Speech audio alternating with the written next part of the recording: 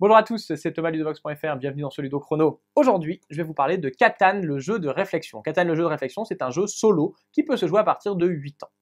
Catan, le jeu de réflexion, c'est donc un jeu qui se passe dans l'univers de Catan et vous incarnez un explorateur et un marchand qui allait essayer de participer à la colonisation de l'île de Catan. Pour cela, vous aurez différentes missions à accomplir. À chacune des missions, il faudra que vous reliez ensemble des villes et des colonies en utilisant des tuiles de route. Chaque mission sera représentée par une carte.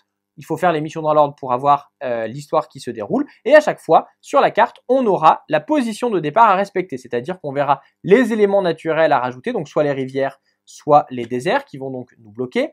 On aura les villes et les colonies et on aura éventuellement les voleurs qu'il faudra éviter. On aura également ici les tuiles routes qu'il nous faudra utiliser pour relier ensemble nos colonies et nos villes.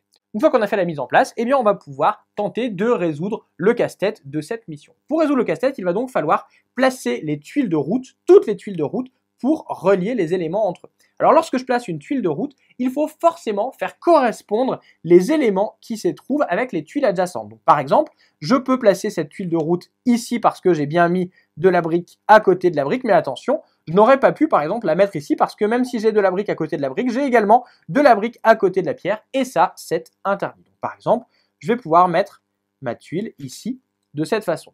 Je pourrais, pour relier euh, définitivement, je peux essayer de voir si en mettant ma tuile ici ça marche. Non, mais en le mettant ici, j'ai bien fait une route et j'ai relié la colonie à la ville. Il ne me reste plus qu'à relier la seconde colonie. Cette fois, attention, il y aura un voleur sur mon chemin. À partir du moment où il y a un voleur, eh bien, je ne peux placer aucune tuile de route sur une case qui est adjacente au voleur. Par exemple, je ne pourrais pas placer cette tuile de cette façon. Néanmoins, il y a une petite règle euh, qui diffère, c'est que sur certaines routes, on va avoir des chevaliers. Les chevaliers, eux, doivent être impérativement placés à côté du voleur, mais attention, il faudra toujours qu'il y ait uniquement la case du chevalier qui soit à côté du voleur. C'est-à-dire que je ne peux pas passer ma tuile de route ici. Par contre, si je la place de cette façon, cette fois j'ai bien respecté les règles adjacentes, mon chevalier est le seul à côté du voleur et il est à côté d'un voleur, ma tuile de route est placée correctement.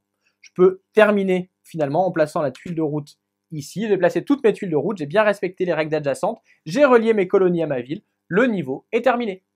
Si jamais j'avais un doute, je peux regarder de l'autre côté pour vérifier que j'avais la bonne réponse. Mais comme c'est le cas, eh bien je vais pouvoir passer au niveau suivant.